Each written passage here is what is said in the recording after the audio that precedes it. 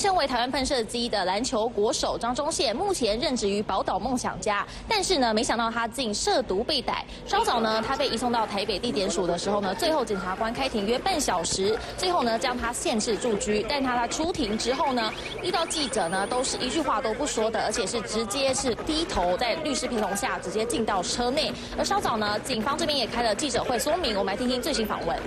那有关烟品的部分，他是在朋友的聚餐上，经由朋友的朋友有转交给他的。那这个部分，我们的侦查队后续还会再进行后续的侦查作为。